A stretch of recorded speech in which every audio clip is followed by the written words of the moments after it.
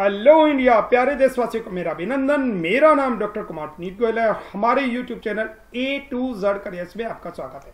मैं आपके लिए लेकर आया हूँ four thousand essential English word का पार्ट नंबर नाइन इस नाइन्थ पार्ट में हम आपको पाँच पाँच करके वर्ड देते हैं। पाँच वर्ड पाँच एंटोनिम्स पाँच सिनोनिम्स पाँच एडियम पाँच वन वर्ड पाँच पाँच करके ये पच्चीस वर्ड ना होके इसके डबल हो जाते हैं। क्योंकि जब आप सिनोनिम्स याद करते हैं तो उसके डबल वर्ड याद करते हैं तो इस तरह से आपके डेली पचास वर्ड हो जाते हैं।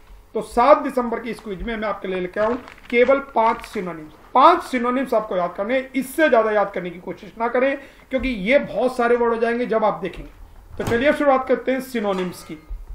पहला वर्ड है synonym S Y N O N Y M S synonyms का मतलब होता है पर्यायवाची।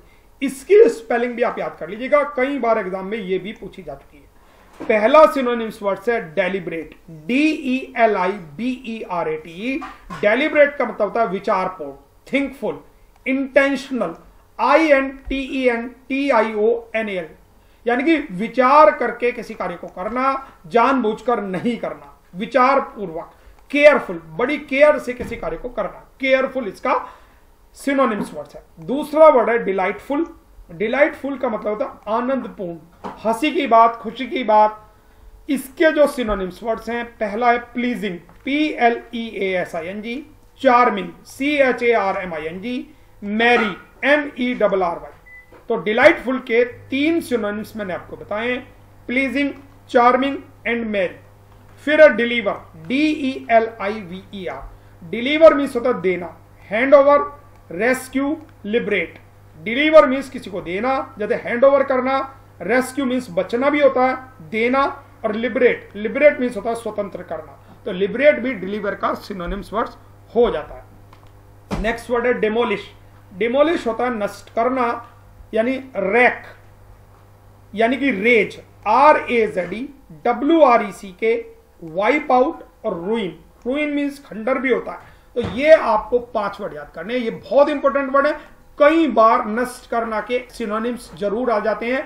एग्ज़ाम में demolish raze R A Z wreck W R E C K wipe out और ruin R U I N ये आपको सारे के सारे वर्ड याद होने चाहिए। नेक्स्ट है denounce D E N O U N C E denounce means किसी की निंदा करना। Curse C U R S E accuse किसी पे एक्यूज करना। Censure C E N S U R ये सारे निंदा करने के वर्ड है। सेंस्योर मीन्स आलोचना करना भी होता है। सेंसर बोर्ड होता है जैसे। ये पाँच सिनोनिम्स मैंने आपको दिए हैं। पाँचों सिनोनिम आपको याद हो जाने चाहिए। एक बार और हम इन सब सिनोनिम्स को दोहरा लेते हैं ताकि हमारे ये पक्के याद हो जाए। और लेकिन एक इंपॉर्टेंट बात इससे पहले मैं आपको बता देना चाहता हूँ। आप इन्हें याद कैसे करेंगे? देखिए सन 1990 की बात है, जब हम इंटर में पढ़ा करते थे, तब हम हमारे sir B D Vyas sir के पास जाते थे सुबह छह बजे पढ़ने के लिए। उन्होंने हमें क्या रखा था? डेली इधर वाले पाँच पाँच वर्ड लिख के लाओ।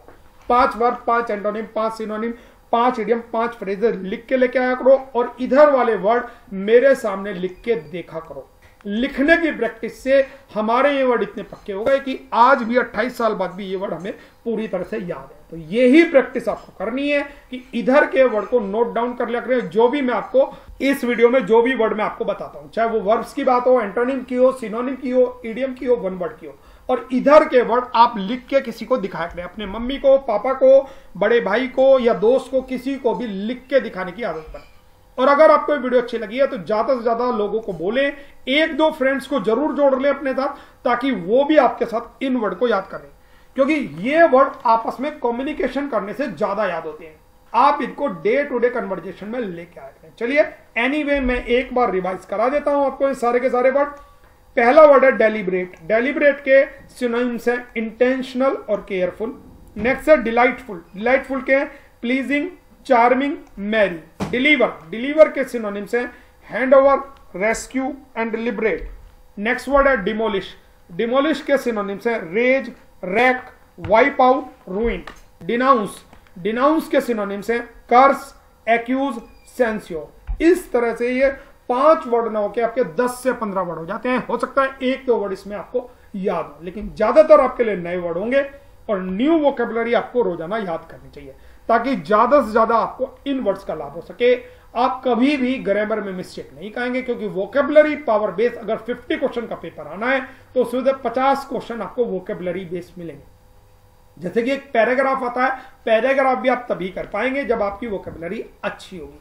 प्ले लिस्ट में जाके आप हमारे मेन पाँच सब्जेक्ट की तैयारी कर सकते हैं। रीजनिंग की मैथ की इंग्लिश की जीके की और जनरल हिंदी की। इसके अलावा प्लेलिस्ट में हमने सेगमेंट बनाया हुआ है, जैसे यूजीसी नेट वालों के लिए अलग से प्ले लिस्ट है, शिक्षक भर्ती के लिए अलग से प्ले लिस्ट है SSC bank railway UP police वालों के लिए अलग अलग लिस्ट है। जो भी एग्ज़ाम हो, उस प्ले लिस्ट को चूज़ कीजिए और उसकी जितनी भी वीडियो है, उन सब वीडियो में पाँच पाँच वीडियो डेली देखना प्रारंभ कर दीजिए।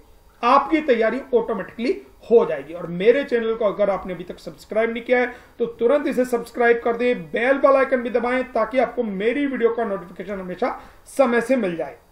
ए टू इधर career is always with you my name is doctor Kumar Puneet Goyal you can follow me on Instagram and Instagram and Facebook even you can write up your problem on my WhatsApp number which is given in description box you can write your problem related to study I will try to give you some solution god bless you all the success in your life thank you very much for watching my video मिलते हैं कल एक नई video के साथ. तब तक के लिए बाय